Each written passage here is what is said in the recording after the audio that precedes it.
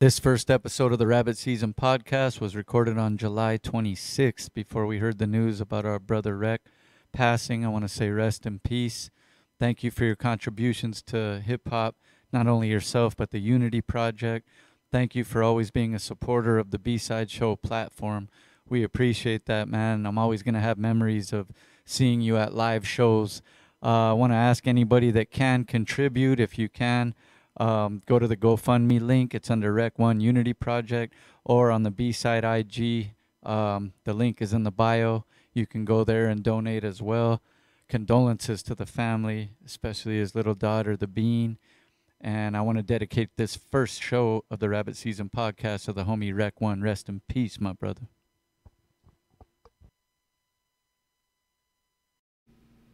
Yes, welcome to episode one of the Rabbit Season podcast. I'm Rabbit, formerly known as Silly Rabbit. I'm I'm gonna be your host. Yeah, my name is Shaye Shaye Whitey. I'll be the producer, um, and I'll make, I have a you know a few contributions here and there.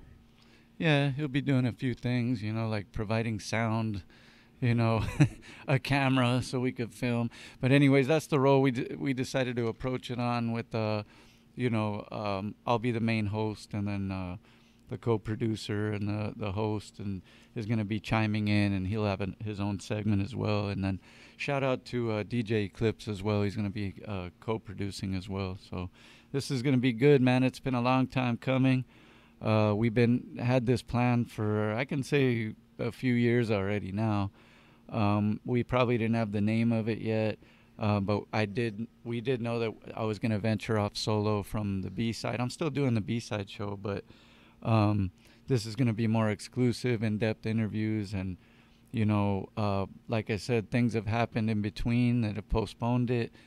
We've moved. I've had car problems. I've had, you know, a range of things, just like everybody else, uh, real life. But we decided, uh, what better day than today? Today's my birthday. Woo! I'm about hundred years old today.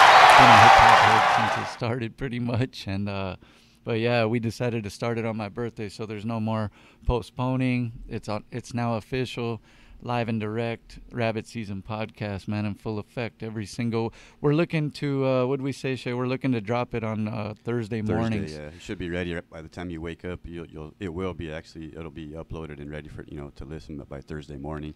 You know, and if you can't listen in the morning, it's up the whole. You know, the rest of the time, the weekend, whenever you have time. Yeah, whenever you have time, this will be pre-recorded, unlike the B-side show. Um, but pretty much, we're kind of approaching it almost like a Thursday type morning show, but um, just because the way we're going to approach the content and the interviews and and the stuff we do uh, post production, because um, we got a lot of things planned on that too. So, like I said, this has been in the works for a while.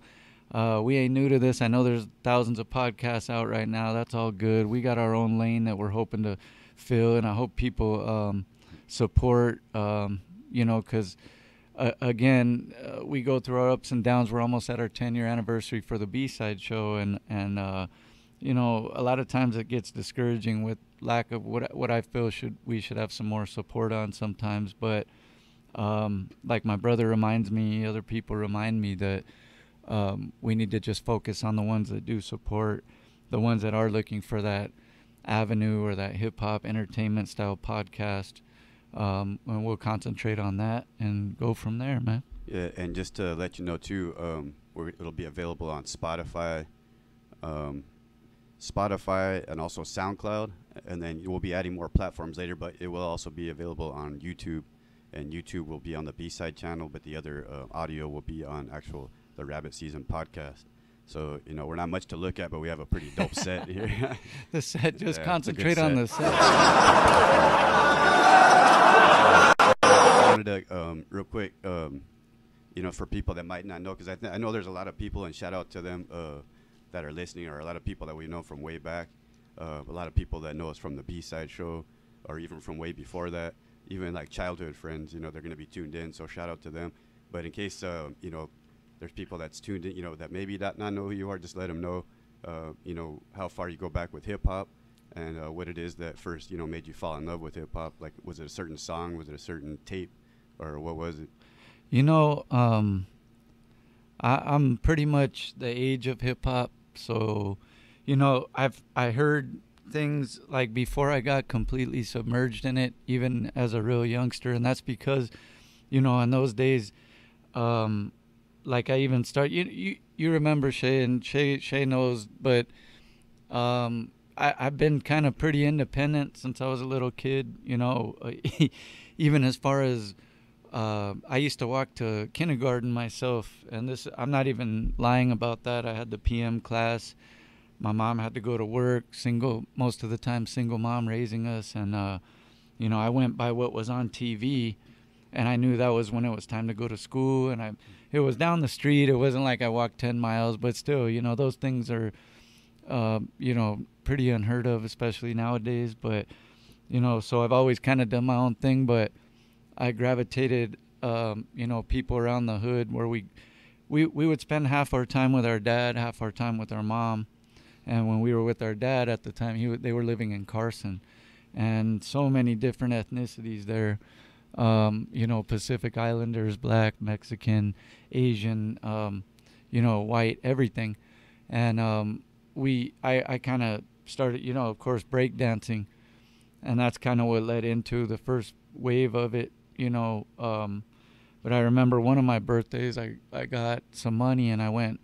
I had, uh, I think dad took me to uh, get, I got a, I think it was a Fat Boys tape and then it was Run DMC Raising Hell, I believe it was. And um, yeah, that's pretty much where I was, I was all the way in because yeah. that, I, I mean, especially, you know, shout out to the Fat Boys too when it, you know, important for the culture. But I that Run DMC is what really grabbed me. You know, from the beats, the scratching, the back and forth between the MCs, um, and uh, and it kind of that that tone of sucker MCs. You know, they even had a song called that. You you remember Eclipse? Eclipse knows what I'm talking about, but um, that kind of um, I guess the uh, uh, what is that the uh, the battling not the battling but the uh, what's the word I'm looking for here? But the uh, the competition. Competition. There you go. I don't know why I couldn't think of That's that. That's why I'm here. Yeah. Thank you. he just earned his he just earned his paycheck. There one extra blunt in this week's envelope. No, but uh, uh, yeah, the competition part of it is like, you could still be everybody's cool, but it's like you, you also want to show like um I'm pretty dope at this, and I want you motherfuckers. So part of it is, um, yeah, so because it comes from when you, you were interested in the breakdancing, but that's and that's the type of music they played during the breakdancing yeah, battles and all. Yeah. Remember, like the with all the scratching and all that stuff. Oh, yeah. yeah and then yeah. we, we would watch. Remember the movies like. Uh, we remember we would go to the movies by ourselves. Like uh, our dad, hey, go ahead. Just we would just go with all the neighborhood kids. We would see like Breaking and Beat Street and some of those movies. Like uh, so i remember just wanting to hear like more hip-hop music because of that too. And i, re- I remember even yeah dude and walking as far as uh, the original bad boys movie with sean penn and Esai oh, yeah. morales. Like people you gotta all go these rated r movies all the youngsters you're gonna have to go search that one real quick but not the will smith yeah not way before, yeah, way that. before that. But we literally walked to the movies in a pack with you know young you know we were still in elementary school to school that way too walk to school yeah way. but the thing was is why we were able to do that is because there was so many of us. It was like we were our own little pack, and we we mo- for the most part got left alone. But that's because we rolled deep as youngsters, just going everywhere. But yeah, to go into that, that's that's kind of what started it breakdancing. Um, the competition aspect of the rhymes. Um, so I've always been about lyrics, and then later on, you know, it it it moved um, to different things. I remember even the same spot when we were over there uh, Boys in the Hood came out as a, it, it was like a bootleg version of it, um, where everybody was just like dubbing it. And this was when there there wasn't CDs, like we had to dub it off cassette. Oh, I remember like, that hearing that cassette tapes, and I remember that going around and the Boys in the Hood, and dude, that just being so hard, like. Because there was some stuff that we can more relate to because we seen it. We literally seen that going, you know, up and down the street, walking wherever we were going but um, we got to see that firsthand, and that was that was before the official Eazy or NWA actually was on the label and came out. So that's crazy. That's yeah. history. Hey, you know what, what's funny about that story? Because I remember when you had that tape, and um, I remember at the time, um, our mom, you know, she was dating this hit, like hardcore heavy metal dude. Uh, I don't know if you remember him, like, was like Oh, long hair, heavy metal dude. And so, but even he, like, he did, never listened to hip hop at all. You know, he's one of those people probably wouldn't listen to it. And, and, and he listened to that, and he was like, "Oh hell yeah!" He was all into it. Like like him and his his heavy metal friends are like even like that like transcended like like different genres of music. I remember at the time. Oh, yeah. that was a long time ago though. like I, I remember going to you reminded me of something else. I went to a a concert um uh back in the day, dude, and it was with uh with uh the homie shout out Duty, he's still the homie to this day, but this is fuck, dude, like 30 years ago or something. We went to NWA with Eazy E. I think Ice T was there. Um shit, I forgot who else and I talked to uh one of the times when uh, DJ Yella was here, man, the legend. Oh yeah, shout out. Um, yeah, and, uh, I- and and he told me the name. I, I still forget the name of the venue, but it used to rotate in a 360 circle, and so all the crowd could see throughout. But they just kept performing, and it would be like sometimes they're right in front of you, sometimes they're looking the other way. Um, but I remember, bro, just dope, dope uh, vibes. Even though at the time there was a lot of gang violence going on, uh, Bloods and Crips and all that stuff when Colors came out, all that stuff. But I remember there was a lot of different fights and security handled pretty good. There was a couple, you know, people were shooting and that. I think most of that happened outside. But yes, we were there and we were like in junior high or something, I think. And uh, and the homie's big brother took us, and I remember seeing like look to me look like cowboys, bro. Like yeah. r- rocking out, bro. Like like at the time we were youngsters, these guys look like they, they look like 30s or 40s, bro. I'm not even playing, rocking out, bro, in the front, singing along the words and all that shit. And and then I remember outside, the homie's brother's car broke down, yeah. and it was like uh it was like a push, it was a stick shift. So it wouldn't start, so we were gonna push start it, but he didn't want to do it in front of everybody. So we like literally waited. Most of the people left, and uh, coming out uh, while we were actually pushing the car, we seen uh, uh, David Faustino walk out. Oh, Like he yeah. was homies with all them. Bundy. Yeah, uh, you know. Hardcore hip hop head. Oh yeah, dude, Grandmaster uh, Grandmaster B from, you know, but yeah, he's still doing his thing, I believe, with this podcast and all that. But yeah, those are just random stories, bro. Like the shit we've well, I remember. through. What about even before that? Like I think you were younger than that. What about when you, um, with your your friend, um, your friend Brooks? Remember, wasn't it him that you guys uh, entered like a breakdancing competition or something like that? Hmm. Like you guys were like spinning like in some kind of gym or something. I, remember I was a little kid, but I remember like going. I don't think it was him Or who because was it? I forgot. He, You went- he wasn't very good at it. Was it Duty? I, I don't remember. He wasn't very good. No, I don't remember who it was. I believe that is when like, see the second half. For those that don't know, we lived on like the, the harbor. Yeah, no, not harbor area, more of the South Bay area Yeah. um, side, for like first part of our lives, and then we kind of been in the SGV side for the rest. And and uh, this is when we were already. I think we moved around a lot. Obviously, having a single mom, we had to do what we had to do. We moved house to house a lot, which is, you know, and this is to go into who I am is, you know, this is why I feel like we adapt to kind of most of our environments is because we have moved so many times and we had no choice but to adapt. So. Yeah, sure. Um, yeah. So, anyways, yeah. With that being said, I think that was uh, Baldwin Park at the time. We lived there, and uh, it was a breakdancing. oh, comp- that's yeah. where it was. Huh? Yeah. Yeah, and Those some- were the times too. Like. I, I was clearly overmatched, bro. Like, no, I mean I was pretty good, but at the time, like, hey, these dudes had, and I was like, dude, I remember the time, and I was like, the time limit was long, and I didn't have that many things to go, and I was like, dude, what the fuck, dude? So I had to like repeat moves, and I remember cats were like getting scared, not going in.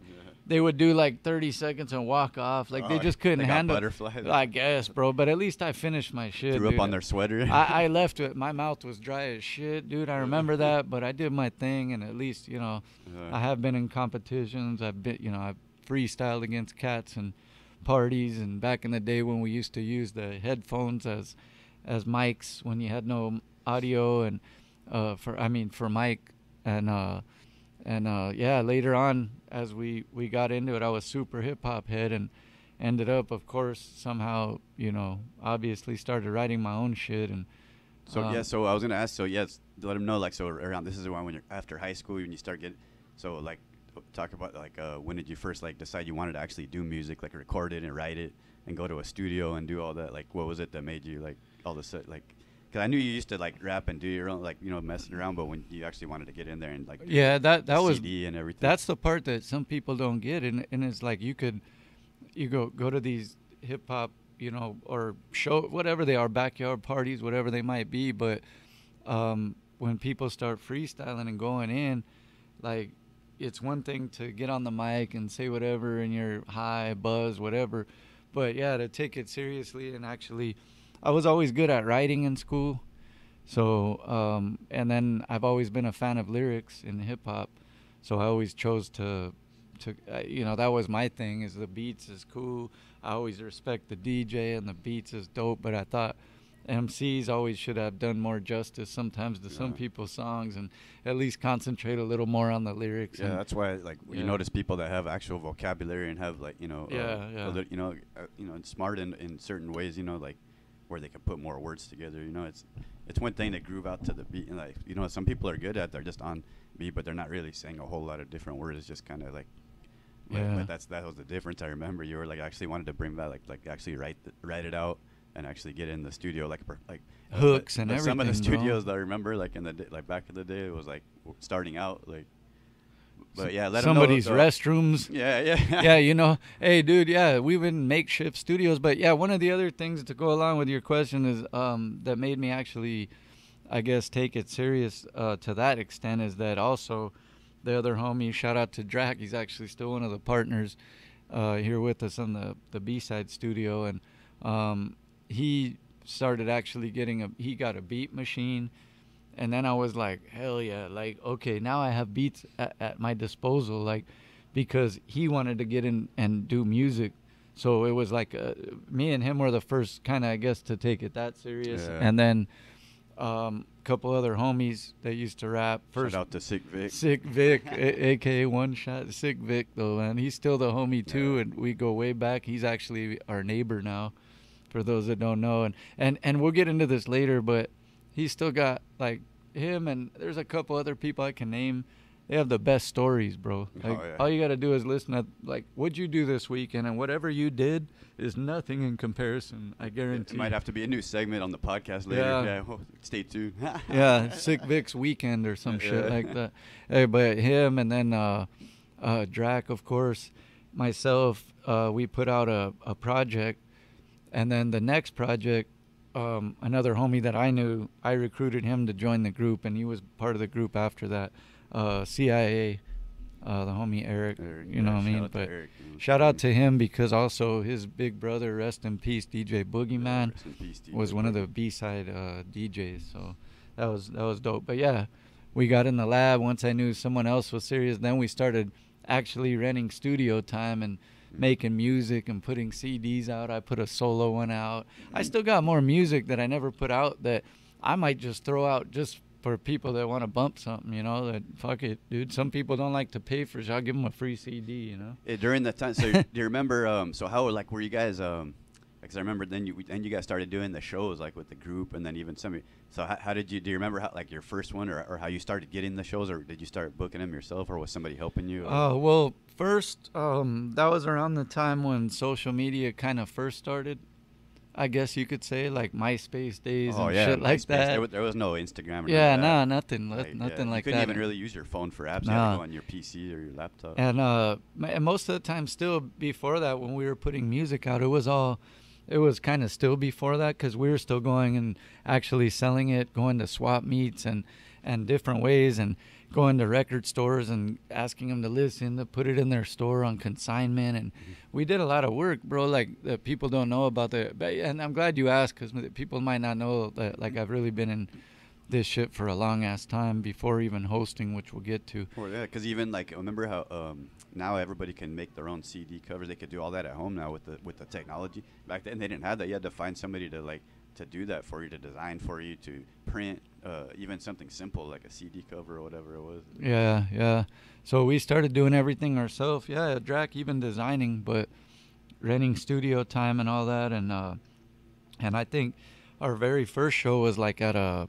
Uh, man, it was a was it a car show or something? But it was Oh, like that's right, it was like mainly like Christian based, and all our Oh, all our shit was pretty like raunchy, and we didn't know ahead of time, so we didn't like you know, and and we tried our best to edit stuff out during the performance, but bro, it was mad like. I was like all nervous working up to it because I get like that anyways, even up to hosting a show. It's just because I care about it enough that I get that way because I want to, and, and I, I usually perform better that way. So, but yeah, and and um, And you're in your, you guys were in your early 20s and all that. So like, you think about what the content's gonna be. You know? Oh, early yeah. 20s, single, all Yeah. that. Like just, the- yeah, the content was pretty. it Uh, was pretty out there. We ended up to to cut it. You know, we ended up not finishing our set because that you know we had to get we were a little too much for the crowd there, but.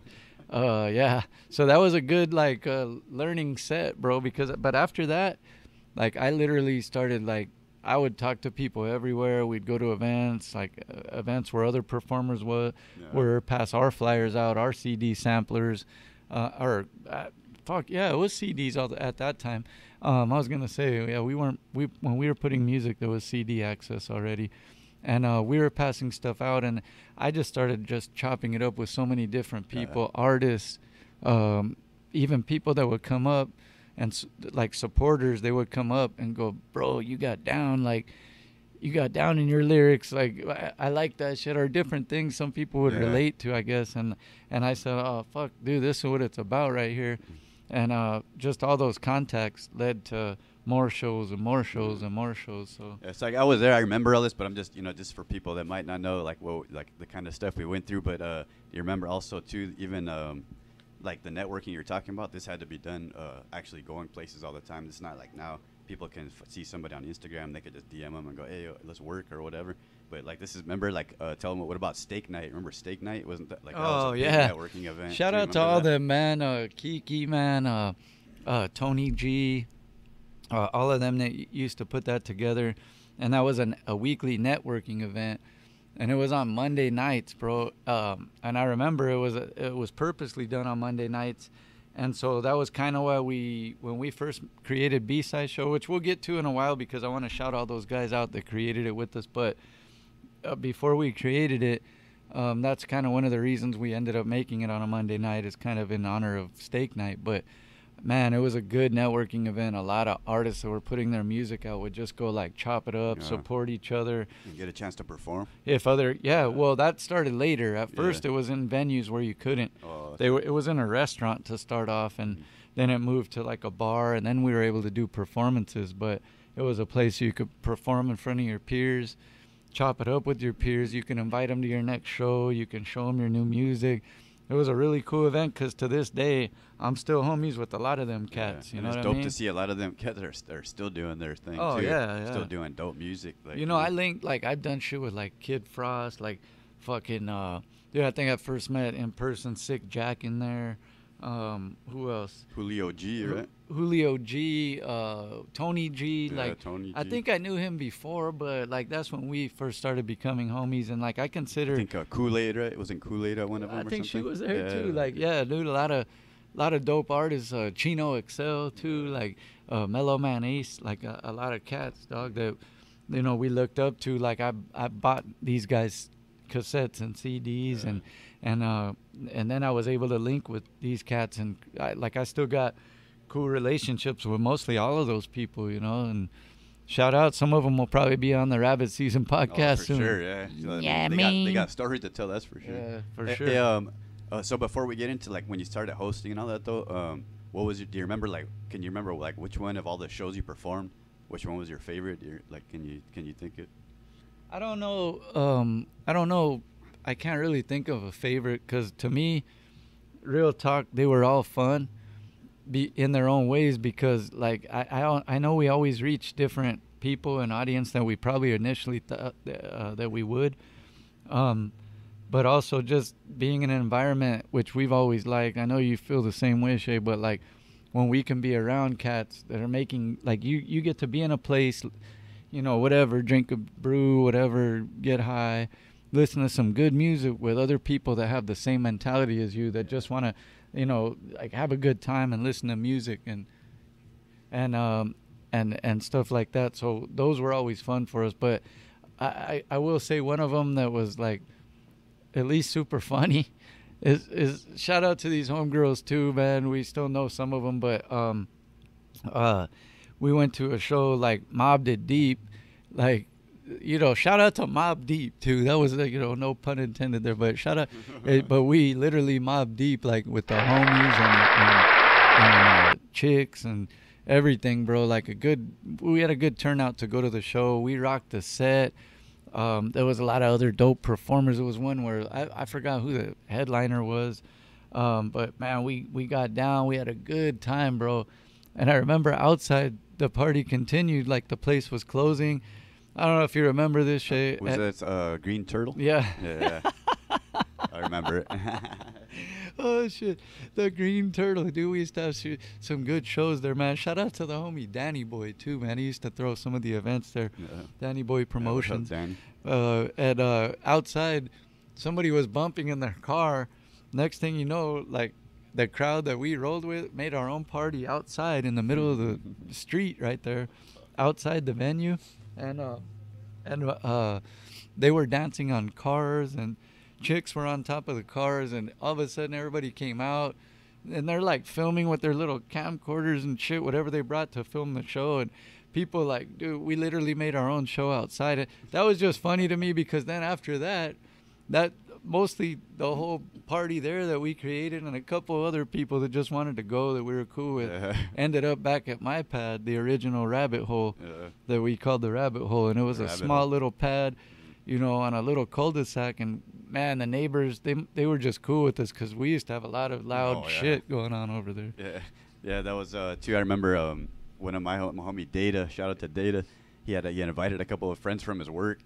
Uh, uh, uh, man, after that night, they were like, "Whoa!" They probably never been in, uh, anywhere like that or seen something like that. They were tripping out. Oh, this is how you guys party. Yeah, like like- that. yeah and then we were like yeah kind of we do yeah, yeah we kind of do because at that time we were doing a gang of shows if you remember Yeah, for sure. Yeah, Uh, well, yeah, one of the things that's what I, you know, back in those days, I was kind of like uh, basically like street team, and I would help promote, and I, you know, I kind of did what I could to help, you know, for the computer work because I was, I've always been kind of computer savvy. So when we tried to, remember we did our own CD cover that we went to Kinkos and, Oh, and all yeah, that stuff like yeah, that, uh, and you know, and just promo and different things. I would take my camcorder, get footage, and just, you know, see what we could do to, to edit it together. I started learning uh, video editing with the homie Data. So, uh, um, and um, but one of my favorite show though I gotta say is um, man, and, and the thing is I don't even know if I have the venue right, but I, I think it was in Hollywood. The, it was when all four of you guys, the whole when the whole group performed. Because remember how a lot of times like somebody couldn't make it, it would be Oh, three yeah, or two yeah. or whatever. Yeah. All four of you guys, and like I think it was the Key Club or something. Was it, is that one of the ones you guys did, or the not the Key Club? we did that i think we did the what was that other one the, the knitting factory That- and- or it might have been that one? It could have been, but it, I just remember you guys like, like everybody, like all of you, because you know, even sometimes too, somebody would end up messing up, forgetting a lyric or here too, or get off beat, whatever it was. I just remember everybody. usually it was sick Vic. yeah, yeah. I- right, I but- remember even this show though, like he did his thing. Everybody did. I just remember that was like a proud like show that like, even for me, I was like in the crowd with a lot of people came out to watch too. That we like that that was like that was real. I think that like- one was there though because I remember that we did take a lot of people too and and I remember Yeah, even the guys tore it crowd even the crowd oh and there was one uh no uh man what, What, about the other one? Oh, you're talking about House of Blues. House of Blues That one was, that that's was another fun one. That's another one with C Blunt and them. This the Blunt Factory. the whole crew. factory crew Yeah, man yeah, we did our thing them. on that one That's right, too yeah. that was really fun for us because we did a lot of good songs and everybody got down I, man. I might still have some of the footage somewhere. I had my camcorder with that too. We even took a limo to the venue. Remember? We, we all jumped in a limo. Whitey has to be careful what he has on that camcorder Yeah, yeah, let me check it first before might I get us in trouble man so yeah so you know then shortly after that i i kind of it, it was only i think it was more of a thing i'm just drifting into where we went. We ended up Yeah. going into the more of the hosting side. I was still doing shows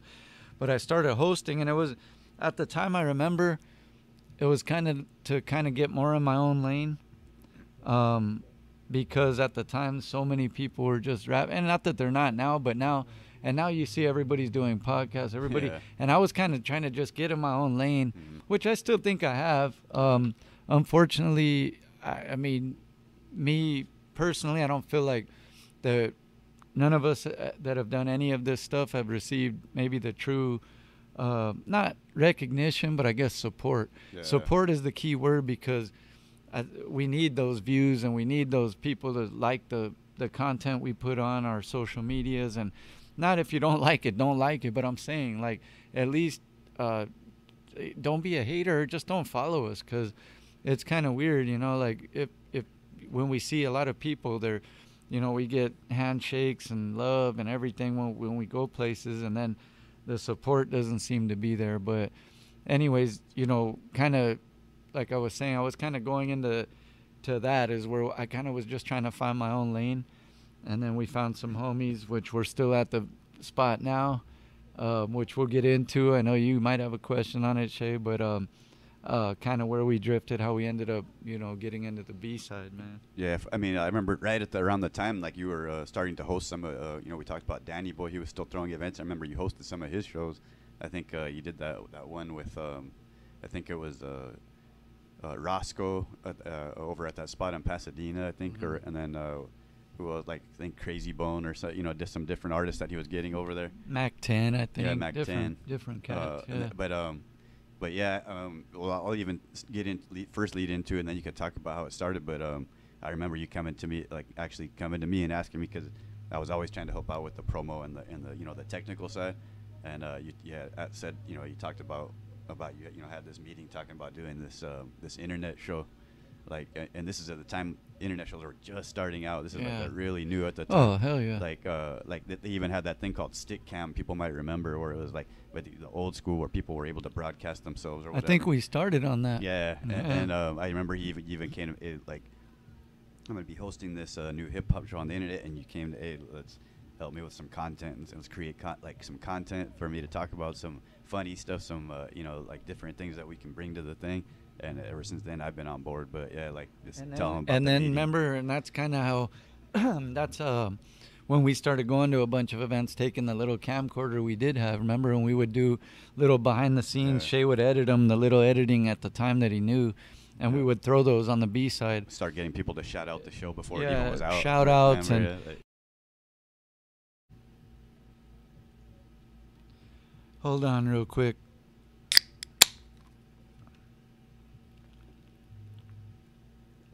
Ah, there we go. It is my birthday today, so I want to set it off. Yeah, that's the only time he's gonna drink a beer during Yeah, the you know what? Only on my birthday. yeah. you know, but we're having a good time in here. This is the first official episode of the Rabbit Season podcast. Thank you guys that are hopefully checking us out, man. And every week, like I said, we're gonna have dope guests coming through, and when we don't talk about, so Yeah. where So, were we, man? Yeah, we were talking about um how um, all right. So yeah, so I told him about you know like how, you- how you told me about the B side show, how it was gonna start out um, or what we're gonna do, and then but let them know how it came about, like and how that first meeting went, and, and you know how the, how it started basically. Um, yeah, the first meeting. That, um, shout out to the homies, man. Uh, Rocky uh, from the Street Scholars podcast. Yeah, shout out up, to Rocky? them. What up? What up, dog? Man, they're they're so big right now that I think they even unfollowed me. I think I'm not I'm not sure, but I don't know. I haven't heard from the dude, but hopefully he checks out our show. Um, but yeah, Rocky um, uh, had a had a clothing store here with his partner at the time, um, his lady at the time. They they randomly just went on a whim, got a little spot for clothing, which we're glad that they did, um, which set everything else in motion. But uh, long story short, we ended up making the the backside of the studio into uh, uh, I mean the backside of the store into a studio. Um, started it when he brought in uh, the other homie Wacko, um, who's still doing like videos. He's actually the direct uh, producer of the Street Scholars now. Um, who else was there? Fizz Ed at the time DJ, was who was the original DJ for um, the B side show. They were doing another show called Zoo Radio at the time, more like uh, dubstep type, uh, you know, techno sound music, and um, they had a different backdrop and everything. On the, on the other side, we made our own B side backdrop, which still stands. Um, what you guys see is that uh, Hollywood background that was done. Um, shout outs to the homie, homie West 77 and Cowboy, I believe, did that. Still up. And um, so we had a meeting at our favorite meeting spot, which was down the street. Used to be the B back. It's a different bar now. Um, but, uh, you know, we used to go there back in the day. And um, our meetings were always over a few drinks. And I remember, you know, not all of us agreed at the beginning, which, like most things, uh, you know, not everybody's going to agree, but we came to kind of a compromise, I guess you can say. And the B side became what it is with all the ideas that were thrown in. But basically, like uh, what it was supposed to be is a hip hop version of like the Tonight Show style, where anybody that's got something new out can come promote their shit, perform live if they wanted. If it had a movie, we'd show a clip, like different things like that, and you know, show their flyers on the screen and and different things. And then again, like Shay said, is is this was at a time when these were all uh, fairly new concepts. I mean, they had been done, but not in the spectrum we were trying to do it. Um, you know, and if we had more money and and uh, investors behind us, which we've done everything independent all these years, but if we did, you know, it would possibly be something bigger than what it is. But but you know, we go with what we got. You know, but even though at that time though, like you said, it was not a lot of people were doing it and they weren't around, but dude, honestly, to this day, even though a lot of people are doing you know shows and podcasts, yeah. I still feel like the B side show like is like uh, the most unique and the most uh, you know with that for the format that we have with the you know the DJ yeah. mix the the interview the live performance the dope host you know all that stuff that the, the, combination uh, of the show to me i mean maybe i'm biased because i produce it but but uh you know i just still think that like no, the I format and the concept is still like you know one of the only you know right now so. I i agree with you. I just again it, i just was you know would hope at all points and you know it'll come it'll come when it comes but um just wish the support was greater um not only from just hip hop supporters but from the artists as well because um, we do support a lot of their things and do things that sometimes we don't have to do and go the extra for some of these people and you know it'd be nice they can do the same you know. Some of the people you know sometimes can't even repost the flyer man and you know that's the that's the minimal thing to expect from someone to help back you know. But anyways um you know going back uh, we we came up with an idea um, you know, we all came up with the ideas. Uh, Rocky was a big part of some of the concepts too. Um, and then Wacko and I were the hosts. We had somebody at the homie man, the homie Snipes was the original producer. He Wacko on the fly just told him, "Hey, dude, you press this when we say record. You stop here," and we would literally like shout it out to him. And then a couple episodes later, I believe, uh, is that when we got Drac? Yeah. I believe Drac came aboard started producing it, he really dug the concept and all that. And uh, and then uh, yeah. Speaking of hating, yeah, like you know, I, I could have like done it right on the flight right there, and I was there like getting some behind the scenes footage, but yeah, Wacko was hating on me. He didn't want me to like take over the thing. So yeah, but it's all good. I, I, I got it now. So yeah, hey, and, uh, but yeah, now Shay became the producer shortly after that. Um, Drac's work schedule changed, and yeah. he was he was doing more things behind the scenes yeah, know, I will say that um, Drac creating know, and like you know I got to give him you know like he did like take it to another level as far as like looking into what we could do with the software we're using and all that. So you know I kind of like you know I picked it up uh, you know from them, but after that I just kind of you know I, I, just from that like the technology got better. You know, our equipment got better, and we just, you know, and, and then you could kind of see what you would want a show to look like when you're watching exactly, it, like you know, and that's what I would want to watch as well. So, um, yeah, everything else uh, went from there. And like I said, uh, you know, uh, coming November, the first Monday of November, is going to be our 10 year anniversary show. So, yeah. oh, yeah. We'll give ourselves our own round of applause yeah, right there. And, uh, but yeah, we're going to have our own, uh, our own little. I don't know how we're gonna do it yet because things still might be closed down and all that. But um, either way, we're gonna bring something dope because you know, like we, we have so many like dope DJs and different things that like you know, and, and this is what we do. We stream now, and this is the this is the the current uh, climate. What I guess what do you want to call it that we live in? You know, like you can't really go out to venues and do stuff. So you gotta watch streaming events, just like they got the live concerts on. You know, you gotta watch them online now. Like the the K Day concert, they had to do online. You know, so we're doing. That's what we're doing. You know, for uh, for we'll probably have, you know we might have to be doing that. Even you know we're already streaming anyway, but uh, you know we'll just ha- can't open it up to as many people. Maybe we'll do it outside. Who knows? But just make sure you tune because it's gonna be dope no matter what we do. So. Yeah, and and uh, you know uh, one other thing I wanted to get into before we talk about some current things and all that is is um, you know one of the things that was important at least for me, um, which still is on the B side show is is bridging the gap. Like we've always done a good job, I, I believe, of having the young up and coming artists that are doing their thing, that are really pushing, grinding, hustling, putting in the work necessary to get to the next level. The ones that take it serious, in other words, and then um, and then some of the OGs that have been doing their thing for a long time. And we've got to have a lot of lot of dope cats on the show. And I don't know. I wanted to ask you, Shay, some of your favorite uh, interviews or or even guests that you got to meet that stand out. Um, like first, yeah, one of them. Well, there, I mean, there's there's a, quite a few. The ones that stick out, like to me, would be like um, Metta World Peace of the Lakers. Oh yeah. Um, Tray Deee of the East Side is like a big fan of his. Uh, you know what's crazy? We just got to meet Crooked the other day. I mean, we haven't got to interview him yet here, but uh, he actually stopped by. It was cool meeting him. But uh, um, also, um, even like Afroman, it was dope seeing him here. Um, who else? Um, I know that there's some other ones. I'm probably drawing a blank. Oh, DJ Battle Cat, uh, another example. Um, yeah, that's yeah. We've had come up off we've had some legends, man. Uh, Frost has been here. yeah. Uh, Mellow Man Ace. and uh, of course Ras Kass. Razkaz, that's the homie, man. The Yeah. waterproof MC right there, and then like you know the the Psycho Realm and Oh, and yeah. uh, Sick uh, uh, yeah, bro, and then and uh, who else? Chino XL, Uh, we had uh, the delinquent habits here, like Yeah. you know, bo- you know, both delinquent. the Bahama Bahamadia was a good interview. Interview Medusa, and then some of the you know up and coming at the time were barely starting out, pretty much, and now they're really you know doing their thing. But like Reverie, um, you know who else off top? Uh, we we never got the official. people like uh, I suppose. yeah. And, uh, you know, some. Never got the official Rhymatics. interview with uh, Fora, but we did an event with him.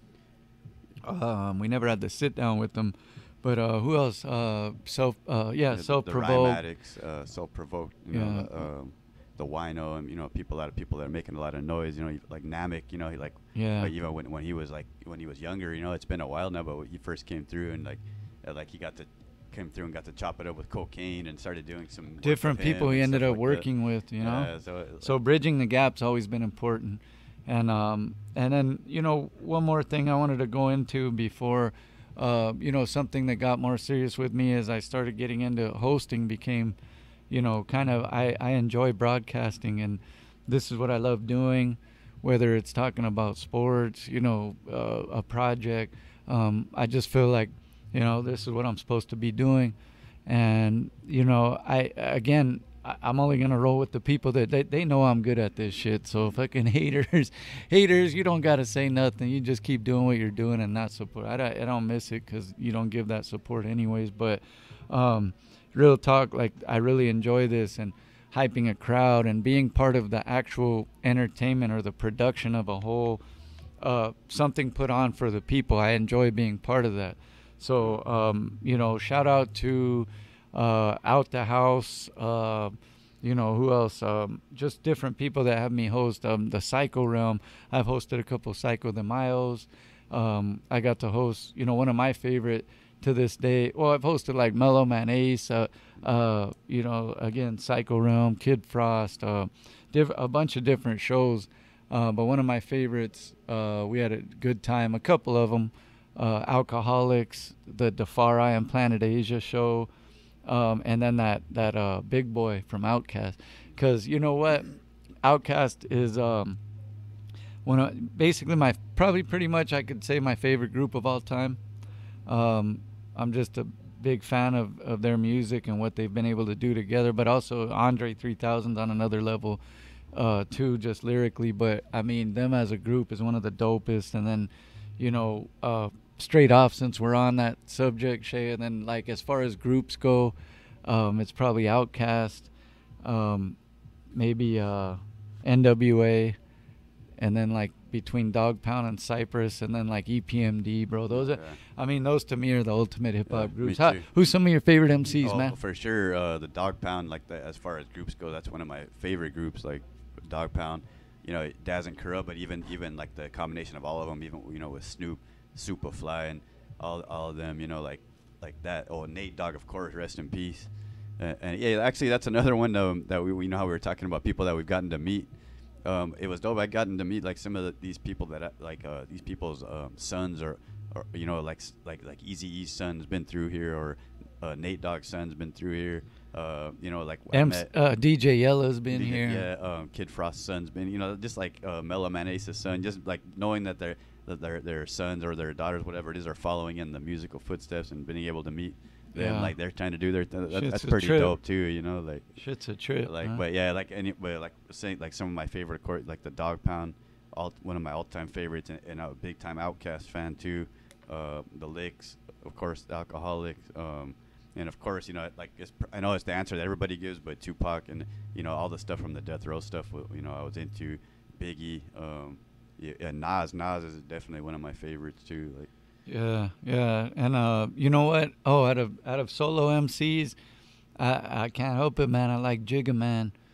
Care what anybody says, and then I've always been a, a Cube, Ice Cube, everything oh, he's yeah, done. definitely Ice Cube. I, Ice Cube and Jigga, like I would literally, I would love to chop it up with them in an interview, whatever it might be, just to pick their brain Yeah. because those are the kind of people, uh, creatives that I've always looked up to as people that can create outside the box but still remain the most relevant in the box too. So, um, but also, um, you know, who? Oh, Big Daddy Kane, Yeah. one of my Oh, yeah. and LL Cool J, Mhm. two of my all-time favorites. And Kane, man, still one of the best performers in my opinion. Lyrically, like he's got the dance moves, he keeps the crowd hype, he's smooth with it all that shit, man. Combination of those things is is what makes the the Yeah. greats. Oh, and I didn't mention earlier, one of my other favorite shows to host was Rakim, man. Yeah, that's the right. God That MC. the- That was an honor to host that show. And, and who? Um, who Shout that? That out was to, uh, Sullen, right? Or, uh, Shout out to AEF Productions, AEF man. Productions, that's yeah, right, yeah. the homie Martine. That was, yeah. that was good too. And, A lot of good, lot of hey, bro, a lot of good connections. You know, we don't harp on no negative here. We ain't gonna do that ever. But um, we've made a lot of good, positive, and good family connections yeah. through this hip Oh, hop definitely, thing, bro. You like know you know, I and a lot of the you know the people that are part of this team are DJs and stuff. You know, they become like family to us. You know, so Oh, yeah. So you know, we made All a lot day. of, and even even some of the MCs that I grew up listening to, like somebody like like uh, shout out to Capital I Man of the Mexicans. Yeah, uh, man, I was a big fan of theirs, and, and man, he's cool as hell. He- Like I feel like he's one of my homies now. Like, we got the interview with the with Sinful there too, like the original Mexicans crew. Oh yeah. We've done some cool shit, man. It's, it's pretty The dope. Chino XL interview, another good inter- that we had. Chilling with the the Gonzalez brothers, you know, the Psycho Realm. So yeah, and Both of them are the homies. and stay tuned for it. you know we're going to be getting them here and, and you know talking a little bit more and getting more in depth with them too you know Yeah, you know what? On this show, I don't want to really announce who some of the guests are going to be yet. Um, we'll just do that as we go because we got a dope flyer and everything, you know, dropping too. But um, we'll, we'll just do it like this, and you guys just stay tuned. I hope you guys, you know, do s- tune in, and I'm gonna make sure, like, I'm gonna actually go out of my way a little bit more than I usually do because it's my thing is like, all right, man, I, you guys see what I'm doing, you guys still can't support, and that, but I'm gonna actually go a little more in some of the fam some of the homies like, hey, dude, go check that shit out, Yeah. man. Go listen to and, it. and you know what and always there are people that you know shout out to the people that do there there are, are always people that will reach out all, all the time and say hey what you guys are doing is dope. Keep doing it. And you know and there's times maybe there's people that don't always look at social media. Maybe you, you don't feel like you know like that they're saying hey like I check this out but there's, there's people that don't even bother with that. But they do watch the show because sometimes Oh, yeah. I'll, I'll run into people somewhere and they go hey I I heard you guys talking about this. I seen this interview with so and so. So you know like like the fact that it's still around and you know and, and uh, people recognize and you know and give us And that a, you know. and a lot of artists have linked through our show Yeah. too, whether they were guests at the same time or heard another one saying something about respecting their craft, and then they end up working together. So we are the link, whether people admit it or not. We've we've linked a lot of shit together, man, and Oh, yeah. and a lot of podcasts and shows have come um, after in those 10 years and not knocking none of them but we're still going and, and now this is the new branch off right here the rabbit season podcast we've had this in the works for a while but it's here now and let's get it yeah, let's so let's go man hey uh, current events man this is uh, again we don't want to make any excuses and stuff but um, part of this is what slowed down the process of getting this show going um, with the quarantines and all the Yeah. yeah, so- Pandemic. pandemic, social injustice, and different things going on, and curfews and lockdowns, and all the stuff we've been enduring in this 2020 has definitely taken a toll. And you know, I wanted to say, Shay, like right off the bat, we were gonna record like a couple nights ago, but I literally went and for I think this was my late Father's Day gift, but I ended up getting shout out to my lady, but we got a I got a fish tank that I've been wanting for the living room and uh and I told you, you know what, dude, I need to relax. Like this is kind of like like everybody has their own therapy of keeping sane. Mine's like I'll watch movies, I'll listen to music, I concentrate on working on our show and our podcast. Mine is smoking weed. Yeah, I, I play with that. Yeah, I fit that in. Uh, of course, playing with my daughter and my stepsons, like I got to fit in time with the family. Of course, that's important on my list. But this was kind of like a therapeutic thing. Like even doing my yard, like you've even seen Shay. This is weird for me. It's just I don't know if it's an old age thing or what, but like I'm into like I plant plants in my yard, like and I and I make sure they don't die. Like I take care of them and I and I and I trim them and like so He I- feeds birds. Yeah, I take care of our fucking yard, uh, like all this stuff. We have like a bunch of animals. These are all the things. I'm just mentioning these because these are all the things that have keeping me sane in my own world or whatever. But like we got a tortoise, a hamster, a a, a dog, a cat. We now have a fish tank, um, and that's like why.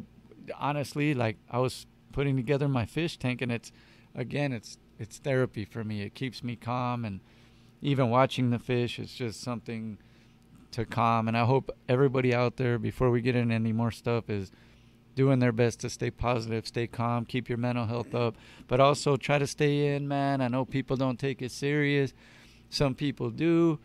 Um, this is the second wave of it which they even told us was coming but if we would have been more precise and compliant in the beginning maybe it would the second wave wouldn't hit so hard uh, and but even yeah. even uh, staying in doesn't even mean stay in necessarily. Like go in your backyard, like set up like a you know yeah chill outside, like outside e- your own house. or that's- even that's, that's staying at home. go so- outdoors and hike somewhere but don't why No, do you why do you got to do it yeah why do you got to do it at an event that's posted on a fly like you don't have to go where 400 people are neck and neck with each other like you, you know what i'm saying just Everybody's like half naked and yeah dude and breathing on each Yeah, other and it- but uh, one of the things like I, I don't get like what's going with with with everything that's happening today is um, you know, it's like all these people are like coming out of the woodwork as far as like the, the fucked up personalities that they they have, like um like.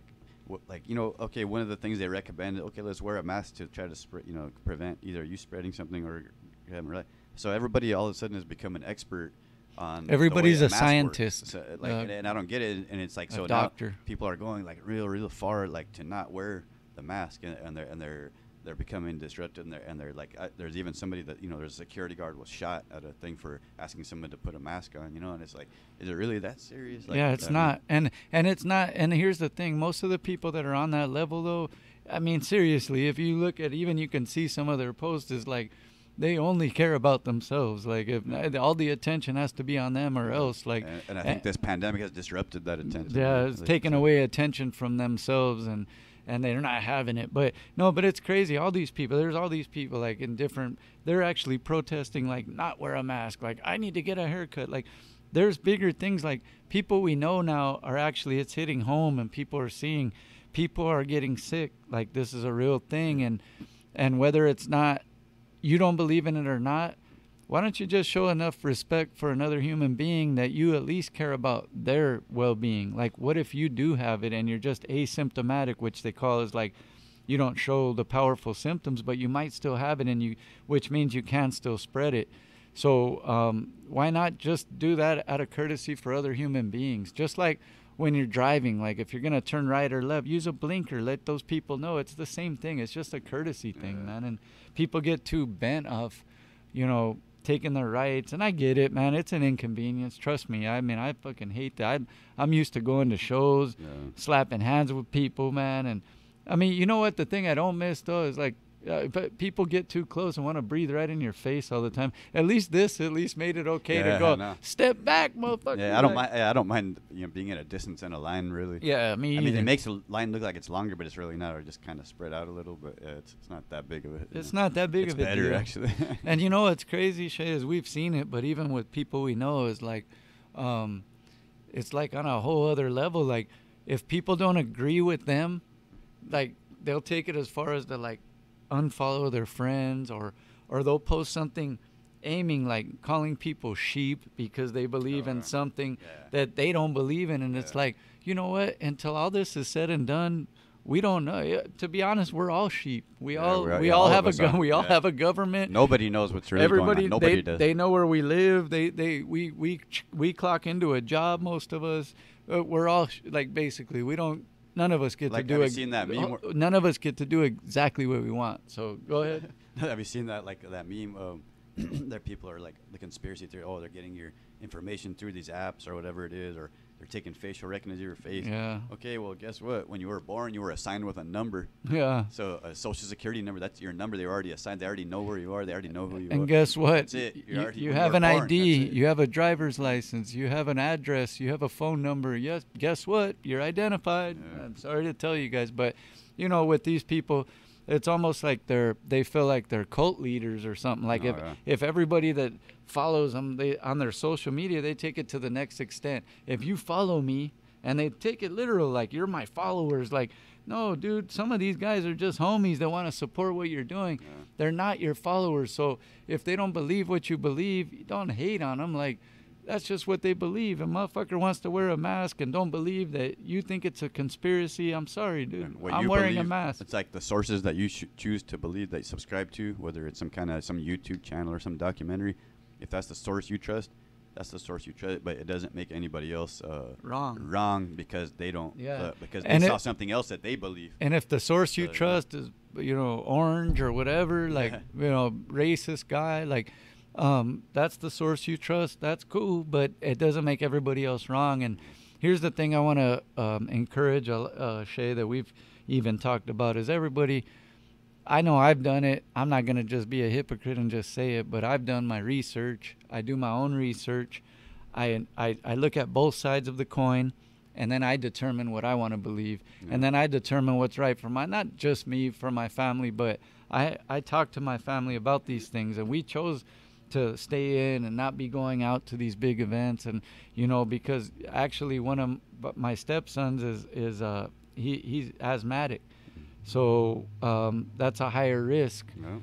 And Same we, thing with me. You know, my girlfriend, she has, you know, she's Yeah. she has a heart issue too. So I'm, you know, I try not to, you know, I go to work, I wear a mask the whole time, and that's it. Pretty much, I come here, and but I stay you in my and I wear a mask at my regular shit too, Shay. And what's wrong? Like, so if we do that, why can't people go into a store for an hour in an air-conditioned store and put your fucking mask on for a fuck? You know what I mean? Yeah, because that's the thing. That, how long are you they plan on being huh? out? Like, like do you, oh, also you can't just put it on for those few minutes you're gonna be in the store. Like when you go home, take it off. Take, your- take get naked at home if you want. Yeah. But you know, just just wear the mask when you when you, you know that's it. Go. Like- You know what? When you get home, lick the fucking rim of the toilet if you want. I mean, you believe what you believe, but you know, no one has to be involved in that. And if they don't believe what you believe, it doesn't make them wrong or a sheep or. Man, just get off that stuff, please. None of you guys. I don't know anybody. I don't. I don't think that I follow any. I mean, maybe I do. I hope I do. And if I don't, I should. But actual doctors and scientists and you know maybe they'd have more insight than some of these people that are fucking believing whatever the or fuck some of those people that are in those in the front lines in the hospitals. You know, nurses. The they're wearing That are seeing hey they're wearing pretty damn near fucking uh uh war gear bro Wow. they're in they're in multiple layers of clothing and masks and they work eight what 10 to 12 hour shifts bro and if if they can handle that i don't understand why someone can't just go to the store and put it on for an hour and to the anti-maskers, like, uh, it's one of the things they always ask. Like, okay, so you don't think it does anything? You think it's worse for us to wear it? Then, um, so are you okay when you go in? If you go in to have a surgery, you don't think you're the doctor that's operating on you should be wearing any mask or anything or any Yeah. gloves? All right, cool. Yep. Then, all right, you're right. Then tell them. Yep. Just go ahead, take the mask. And you know what? It's uh, I'm sorry to say, but uh, if like I go up and just sneeze in your face yeah. with us with no masks, pretty high risk that you're probably gonna inhale something I just sneezed in your face. But if first of all, if we stay a distance from each other, which should, people should do anyways, just keep your fucking hey motherfucker, stop getting all up in someone's grill, dog. Unless that's your chick or some shit. Hey, but um, uh, you know, if you have a mask on and I sneeze, it's less chance. And then if I have a mask on, you have a mask on, and I sneeze, it's less chance. And if we're six feet apart, it's even less chance. And you know, it's just sometimes you have to break it down on that basic level for cats. Yeah, and the anti-mask. The other thing is they say, oh, Um, well, what about you know if you're wearing pants and you fart? How come you can still smell it? That means the pants aren't holding. Okay, yeah, but if they shart, like imagine that's not gonna hit you, right? You, you might smell it, but the shart is not gonna hit you. I don't know. Some of these cats, I think they want shard. and, like, they like getting sharded on. I don't know, dude. Hey, but you know what? on the positive note, though, like shout out to the people that are, you know, no matter what the situation they do, make sure they wear a mask, uh, Uh, all out. Like I've seen some of the ones. I've seen somebody like somebody was wearing like a, ta- a maxi pad on their face. somebody wore like a bra. Like, hey, th- hey, Hey. do what you got to do. and like, you see, improvise if and you, you see to, the you know? people like they'll be driving in the car by themselves in their own car with a mask. Like, okay, who you Or- gonna get? In, like, who's gonna infect you? Or you see somebody with a bottle, like a milk jug bottle over their head, like they, hey, they go. People, some people go, oh, hey, Hey, so moral of this story is, dudes, man, you social media savages that you know you got all these people that you really legitimate think are your followers, you know, with quotations I'm holding up. Um, bro, sometimes people are just supporting and they like you as a person or whatever. So I, I think people just need to lighten up. If if everybody doesn't agree with you, that doesn't make them completely wrong.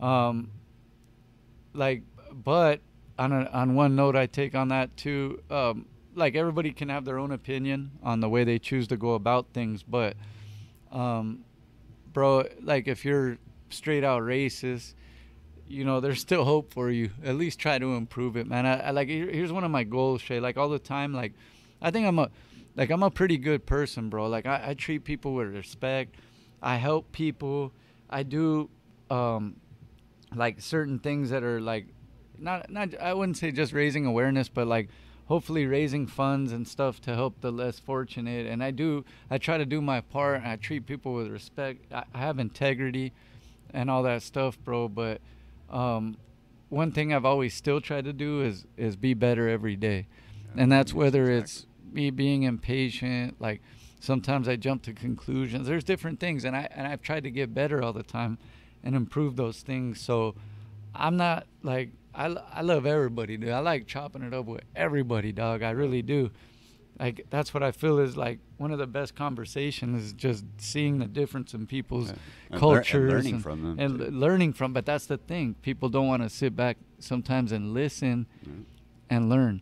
And everybody's too busy talking. Go me, me, me, me. They don't have time to like like listen to what the fuck somebody's trying to tell you about themselves, Yeah. bro. And one of the things too, like I always like try to like, I mean, it, like, if you are if you are racist at all, I mean, I hope you're not if you're listening. But uh, one of the things is like, if you're, you know, if you, you everything, everybody goes through the same things that you do, like, um, you know, like what, no matter what color they are, where do they come from, like, like everybody like loses a job or everybody um, gets, you know, might hurt, get hurt, get a car accident, might get a, through a breakup, might lose a child, and different things like that. Everybody they go through that. So if everybody's go- going through the same thing, we're all in the same struggle when you look at it. Mm-hmm. So there's no reason to look anybody anybody any different because you know like you might be in the same exact boat as that person, and even though you don't look at anything like them or whatever. it and is, you know. especially like i'm gonna say it bro like people that really know us like um you know what um my dad is white our mom is mexican and we've never grown up in a place of privilege. We've always been you know in a struggling household you know uh what do they call it? Middle to poverty level or whatever. I don't know what the fuck we're labeled as but um so I've never experienced any type of like privilege and stuff except for when I did have, have homies. I've had different homies and and I've seen the difference and the difference in where they go and where they're accepted and and I've seen all these things, bro. But um, you know we've we've never come from that and and and I feel I feel like you know we're we're half and half, but I feel like uh, black and brown definitely um, have the same struggle and and I would hope even some of the homies. Um, this is a sensitive topic, but like, like the Black Lives Matter thing, I think some people took that sometimes in a in the wrong fashion. Is like, don't hate on someone else's movement. It doesn't mean that all lives don't matter. It doesn't mean that. It's just that saying that these are the ones they're immediately facing the struggle head on and and to be honest, brown people are facing the same thing. So if anyone should embrace that struggle, it should be the brown side like Yeah. us. And and um, so together we're stronger. And I hope everybody can see through all these little I know these videos and different things going around, and it's it's hard to watch. Trust me. I mean, I don't like seeing some of this shit, but you know, you also got to consider is someone else on the other end of it getting people to do these things, or you got to consider the person doing it. Are they young-minded, um, just not wise to the situation, and and didn't have an older person to put them in the right perspective on what this shit really is. We are in the same struggle, and with that being said, that's one of the things, Shaye, that I've done myself. I, I, I haven't been able to be on the front lines of these protests. Um, I have to work and support the family, and you know, and there's no making excuse. I do what I do, and I and I handle my business. So anybody can come back at me and say it, but I, what I am doing is I'm educating myself more. I will be educating more people that come in contact with me that I can that are steered wrong, and I will be trying to be a better example to the youth. And with that being said, I hope everybody goes out that can and vote in November. Don't just worry about presidency. We got to look at what's going on in our own cities and communities as well. Who's calling the shots of policing and the, the judges, the and judges and district attorneys and stuff. all like that, that. and You it's look all- at their, hat, their their history. the proposition. It's all important. So uh, I hope we can encourage that. So And one of the things, uh, just to uh, go with your point about the, you know, the Black Lives Matter, the people that say all lives matter, the, the best analogy that I've, I've seen, there's actually two. Is one is like, okay, um, let's say you go down the street and you know there's one house that's on fire, it's about to go down, and you know the fire department comes. Oh, see that's the house that's on fire. That's the one that matters. You, all those houses do matter, but that's the one that's on fire. That's the one that they have to put out right now because that's the one that's struggling. The other ones are fine right now. So I think that that's like a great analogy, like that, that I heard about the you know when people uh, try to throw out, oh all lives matter. that one, and I heard there's a biblical one actually too, and like, um, the sheep herder had to look for the the sheep that got away, and then now the other sheep are going, "What about me?" Well, you're not the one that's lost. It's that one. So, Mhm. you know, just going into that, we want to get too deep and all that, but I'm just trying to say, man, be a decent human being, have some integrity and respect for your fellow human beings. Don't just care about yourself and going and partying. We'll have plenty of time for all that, man. Just let's get each other safe and get back out and do what we used to do, man. At least as close to it as we can. And um, you know, for those people out there that are gonna say, I don't, you know, um, this is the way they're gonna keep us, and you're you're not woke. And yes, I am. I know the possibilities. Yes, I do. I just choose to be a positive human it's- being and not a piece of shit. Yeah, So not a sheep. for other people. I'm not a sheep. I'm just not a piece of shit. And speaking so. of that too, like you know, people want to be called a sheep because there maybe there might be sports fans, but hey, man, I for one personally, I'm happy that sports are back, and I think a lot Oh, of people are. yeah. I think it's, yeah. it's a, and people want to say, oh, it's a distraction from what's going on. No, it's not. If, I mean, if you have like a real short attention span and you're not very like smart, then okay, then you're distracted by one little thing. But I mean, I could watch a game and not completely be oblivious to everything that's going on in Yeah. the world. That's not what that Yeah. means. But sports is something that be, brings people together. You know, it, like those teams are bonding, and people of different races and stuff like that. They come from different struggles. you and know, it's the so- competition, Yeah, the the friendly competition, competition. You respect your competitor, whether you win or lose. It's respect for each other and what each other does, and just like the world works, and that's what sports is. And I'm glad it's back too, man. Shout out to my biggest team ever. For anybody that don't know, Lakers all Lakers day. Lakers. It's gonna be a little weird. Maybe Yeah. they'll put an asterisk, but who cares? They're gonna win. Who cares? it. Get it anyways. Hey, but you know, um, that's the thing is is Lakers is my main shit. Um, out of everything, um, basketball, football, and baseball, the three mains for me. But um, Lakers all the way. Like I even put that around my bump, like my uh, my license plate. Like Well, you have the tattoo. what I'm I'm, I think they saying? can probably see it right oh, there on the uh, thing. maybe you could see, but. Um, but yeah, um, Lakers, man, on mine. So I'm happy basketball's Uh, back. and it's crazy. It's entertaining for me. But isn't it crazy the way it is now? Like, uh, can you imagine? Like, w- there's nothing. This is not something we could have imagined. Basically, they're they're in a bubble, right? The NBA bubble, uh, basically, or they're calling it also a campus. It's like a, it's almost like the summer camp, like those old basket, the basketball camps when they go to when they're youth. Like, basically, they're going away for a while. They're gonna be there. They're not going home. Uh, they're qu- like basically confined to this area for all, this whole time. it's crazy. Hey, and you know what? But it's it's not it's not any less entertaining for me. I still see No, them no, not at all. competing. The, co- the crowd sometimes adds some extra that we don't need, but the crowd is good. Don't get me wrong. But most of the times, you know that especially in those NBA arenas like Lakers, man, it's all Hollywood cats in the front. No, yeah. Um, you know what I'm saying? Just to get on camera.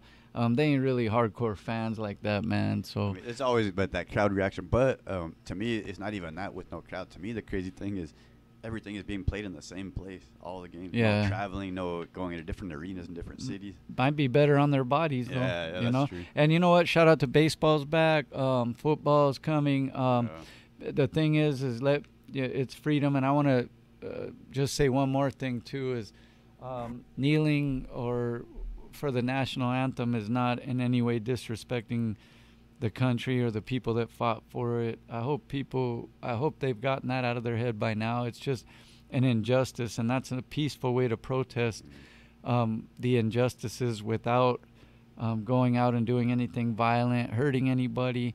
It's just to bring awareness, and sometimes that needs to be had because look at since all this stuff's happened, look at all the changes that have been made for the positive. So let's keep going that way, everybody, man. Let's keep it positive, man. Hey, uh, sports teams for you? Any favorites? Any favorite sports. Of course, the Lakers, uh, like all day, like like since I was young enough to like, remember that I was a Laker fan, and of course uh, I'm a big Raider fan, and uh, you know people are probably you know I'm gonna get a lot of hate, but uh, I'm an Angel fan, more, but I you know I don't hate the Dodgers, but I gotta say that you know uh, I watch the Angels more than I watch the Dodgers. I do gotta say.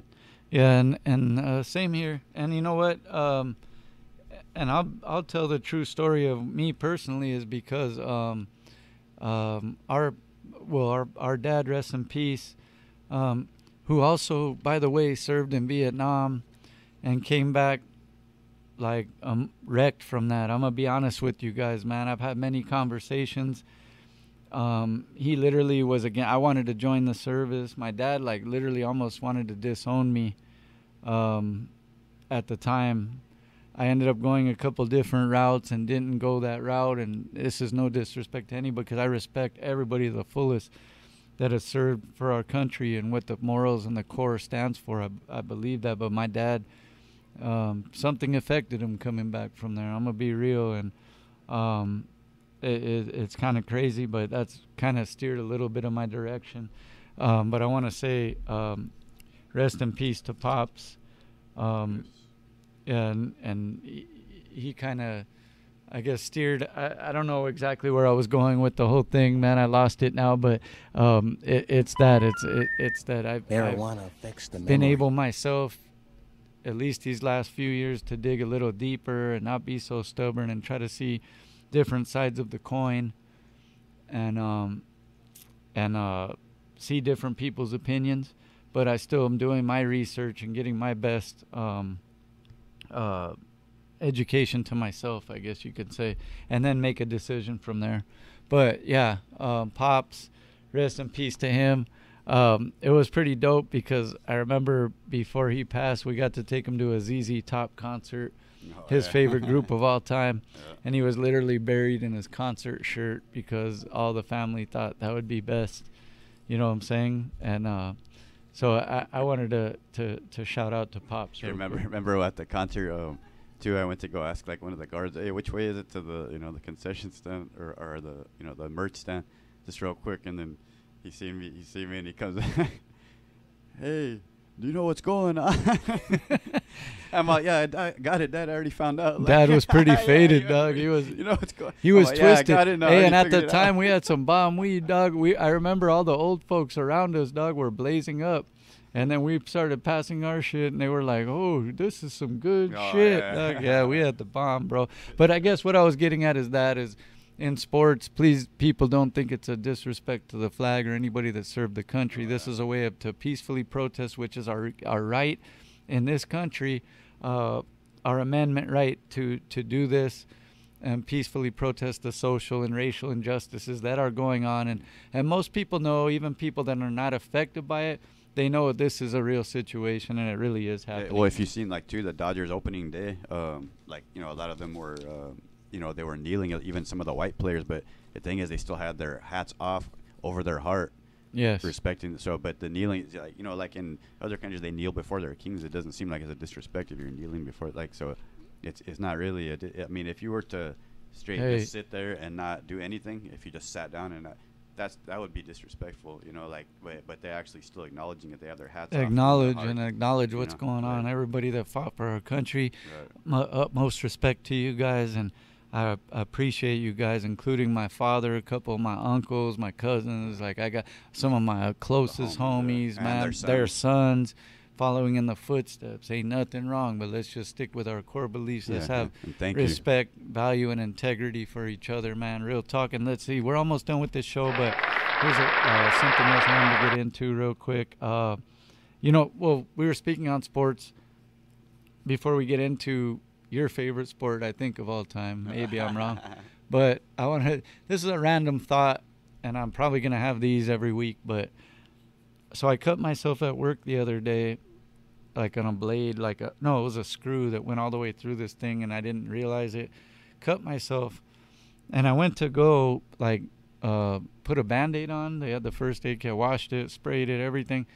The band-aid was so fucking hard to open, and I always wonder like why are the band-aids so hard to fucking open? And I and I know they have to be sterile inside. I get it, but sometimes there's not other people around, and I want to save Yeah, myself before I bleed to death. Sometimes So- the blood is just straight squirting. Yeah. Sometimes I just wanted to. I just didn't want to bleed to death, so I fucking put on. But anyways, uh, let's go into it. Speaking of bloody messes, No, know, no, but no, but you ever know? There's another one. Like, uh, you ever notice like what it was something that you normally do really easy, quick, right? But when you need to really hurry and do it, if for some reason you're just like, wait, I can't, I can't. Like, uh, you know, like say somebody's like dying of thirst right in front of you, and you have to open this water bottle, and like for some reason you can't open it easier, and it's taking you a little bit longer, and it's like, I mean, that, that's just an extreme example, but you know. hey, yeah, but you happen to be bleeding at your jugular vein or something. Like, I just want to patch it till the paramedics get here. hey, so look, your favorite sport, wrestling, bro. Look, I used to watch wrestling back in the days, and I was all into it. Hulk Hogan, all the motherfuckers, like, um, but you still watch it to this day, and there's a lot of people that do. Um, I wanted to ask, well, I'll say because I'm old school with it, but Hulk Hogan was one of them. I know he ended up doing some pretty weird shit later, but that's beside the point. Um, Junkyard Dog used to be dope. Oh, Um, you know, tag teams I remember like the British Bulldogs and uh, the Killer Bees were dope. Uh, oh, and especially the Hart Foundation. Me in my opinion, like Bret Hart is probably the what did he say the greatest there ever will be the Yeah. greatest. But I I think he is probably Best one of the greatest. Best was, best there ever will be. Th- that's my opinion, and I'm not fully schooled in it just because I don't still watch it. But go ahead, man. Who's Uh, well, first of all, like um, to, to for the record, it's not my favorite sport. Basketball is, but but wrestling. Are is you bit- sure? Bet, bet wrestling is an entertainment. It's a sports entertainment. Okay. I know it's not a real sport. I know like I people are gonna go, "Hey, do you know it's fake?" Watch No, I I, get a bunch of messages. Hey, you I know was just gonna fake?" say. I thought. did you know it was? I mean, is it real? Well, well, actually, you know, when I when I first started watching it, I thought it was real, uh, but I was probably like uh, maybe like in fourth You know grade or what? something. But but when Fuck all the dumb shit, Shaye. The the injuries and the athleticism are real. I don't care it what is. anybody But, says. I mean, I just thought that like they really hated each other and Yeah, stuff like yeah. that. But, but they're actually real. Co- they're actually coworkers, and they you know they chill after. But but the thing was, uh, I remember my my stepdad, my mom's husband had, told me, "Hey, you know it's fake," and I, and I didn't even believe him at first, and I'm like, "Oh man!" But then you know what? I still watch it to this day. So uh, you know, I just appreciate the the. You know the whole the whole sport with the athleticism and the acting and everything and the stories and you know they have to write it all out and all that, but uh, but yeah I will say if I had to pick the top five for those wrestling fans out there, Hulk Hogan has to be because he's what got me into uh, listening to it. I mean, to watching it in the first place. So for sure, I know he wasn't the greatest, but but he still is the one that got me into it. Uh, Bret the Hitman Hart is another one. Um, uh, I gotta say, uh, Ra- Randy Macho Man Savage uh, was great, and then uh, oh know, yeah, I forgot him. um, and then honestly, um, yeah, and Bret the Hitman, just one of my favorites, just because of his in-ring work. And then, um, honestly, it, it's kind of a tie for me between The Rock and Stone Cold Steve Austin. But I think The Rock edges it out just because he's such a amazing entertainer, and even to this day, the stuff like Oh yeah. everything. He hey, does. but he's one of those dudes nobody could hate. Steve Ev- nobody. Austin, like, dude, the charisma they used to bring, and then like, remember Koko B. Ware? And, Oh, yeah. But there's just certain There's cats. always, yeah, there's a lot. I mean, even people like now, like you know, there's still some of the ones that are still around are the are the ones that are my favorite just because they've been there long, like uh, Rey Mysterio, and people like that. Like um, you know, he's still around doing his thing. He doesn't even look like he aged at all. Uh, you know, but like uh, stuff like that. But it's crazy because they kind of were the ones that um, kind of led the way to these other sports coming back because th- like they never interrupted their their shows. They they kept the stories going. Yeah, Um, yeah, They yeah. started they started doing matches in empty arenas. Uh, then they started doing um, matches that were like pre-filmed, where they would do it at a spot where it would look like it was whole, all like filmed like a movie type of thing. And and, and it, you know they, they innovated it in that way, and you know It's still going though. yeah, that's for what- sure. What's crazy about it, yeah, it's a trip. Hey, show, let, show. Let's uh, tail this down, and uh, you know, it's my birthday today, so I want to go continue the celebration. I'm a hundred and something today, and I want to celebrate the right way. Um, shout out to everybody that does support us and all that stuff. But the the Rabbit Season podcast will be going. We'll, our plan is to drop every Thursday morning, be pre-recorded, uh, but every week, and we should have our first guest coming in uh, for the next week, and we should be dropping this coming Thursday, which will be the what is that? The twenty. Uh, well, they're listening today, so Uh, whatever day they're listening, that's when it's out. But anyway, yeah, July. I uh, think it's July the 30th. Yeah. When you listen to this, I think it'll be the The 30th. day you're thank listening you. to it is the day that uh, Thank you out. for doing that. Yeah. But today is pre-recorded. It is my birthday, and we'll have some new guests coming forward. Uh, man, anything else you want to get? Oh, Do you want to? I wanted to ask you something. This is a segment we're going to be doing every week. It's called the non-fake news, and let's get to it. Okay, non-fake news. That's fucking deep. Uh, it's kind of a playoff, you know, like um, you know, nowadays our, our supposed, uh, I guess the guy in charge or whatever, it has this new term called fake news. So anytime you hear anything negative, it's it's fake. It's not real, right? Like, uh, but um, I have some stories here that like almost seem fake, but they're actually um, they're actually non-fake news. But like one of them, um, well, you know, we were talking about the mask, how people are like, uh, the, what is it, the anti-maskers or whatever. Uh, somebody, I think it's actually it was up somewhere up north in California. Um, like uh, s- this lady went into a s this Verizon store, right? And uh, they, they were gonna, they told her to leave because she wasn't wearing a mask. Uh, so what she do? She she she started peeing on the floor. So she peed on the floor of the Verizon store because. Well, that'll make your point. Yeah, I guess that gets it across. Or either she had to go bad, or she just, or I think uh, maybe they told her, "Where's your PPE?" And I think she took it the wrong way. Like, Or it just pissed her off. I don't know. she was really pissed. oh, and another story um, in Russia, uh, there, a cat tried to steal cash from a bar. Uh, It's funny, and I see that they even uh, somebody even posted it on the Instagram. You just see the the cat running with like a stack of wad of cash. I guess the cat was just some kind of like cat burglar. I don't know what it was, but uh, but luckily, you know the um, the cat actually belongs to the bar owner. So you know. Hey, there, there's a couple cats in our hood that they come and steal fucking Pepper's food. Yeah, that's right. Shout out to Pepper, that's the cat. But, But uh, what's they- funny is like, dude, but like, luckily that the, they own the cat because you know what they do to people in Russia, you know, for like, it's a, you know, it's way more harsh punishments for stuff like that. You know, who knows what they would have done to that cat? But, fucking but, poor guy. but I guess they'd actually made off with one, but somebody grabbed it from it, and then the second time it did it again. But I guess they were like fake bills that they had there. But uh, That's its thing, huh? We gotta hire that one. Fucking Oh, snatch us up another one uh, in Las Vegas. So this this guy, they caught it on tape and everything. I think it was even on TMZ. This guy stole like a, a massive dildo from uh, from Deja Vu in, uh, in Las Vegas. It was three feet and forty pounds. Wow. a dildo called Moby. You know, I'm pretty sure that's probably why they call it that, like Moby. But they have like like uh, it showed like he's even making down the he had it threw it over his shoulder and just took off down the street. He was even wearing a mask, like he was wearing his mask. Oh, at least he was Yeah, yeah, he sanitary. was sanitary. And uh, probably when he goes home to play with it, hopefully he'll put a condom on it. What the hell's he gonna do with it? Dun, dun, tsh. Probably against the penal code. Yeah. he made his own penal code. Fuck, dude. These fuck. Hey, man. Some of the times, I'm sorry, guys, but there's some weird motherfuckers out there, dog. Like, you know, to each his own. And we said we got to respect each other, but you know, certain things I just don't get. But And then one more. Uh, this uh, the, the president in the Philippines had a press conference. He said, uh, "Make sure you wash your mask." And he said, uh, "If you ran out of Lysol, just wash it in gasoline." He's like, "That'll kill that son of a bitch." I'm, pretty sure he was probably maybe he was imitating Trump. Or I was. I was thinking. I was thinking one of uh, one of his speeches about kneeling. Yeah. oh man, that guy. Hey. So we'll bring more to. Like, Hey, you so know, with stuff. that being said, I, I know you guys can see that the stupidity is real, and uh, hopefully everybody do your own research. Keep uh, educating yourself, getting smarter, be better, man. Let's all try to be better and get along with each other, and let's all vote in November and try to make our way of living at least a little more close to the way it used to be. Because this shit is foul right now. I know everybody agrees, man. I want to get out and and uh, and have some fun again, but we're making the best of it, staying positive. Uh, shout out again, we're at the B Side Studio, man. My uh, producer, co-host Shaye Whitey, thank you. And uh, DJ Clips co-producing, and we got a lot of dope guests for you guys, right. Happy birthday, bro. Thank you, everybody, uh, also for uh, for listening. Uh, uh, we'll have a lot, like some more stuff coming soon. More stuff coming soon. Rabbit Season podcast, live and direct, all up in your grill every single week. Let's get it.